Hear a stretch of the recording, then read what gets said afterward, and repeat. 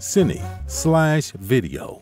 If you work in motion pictures, Lumu is here to help.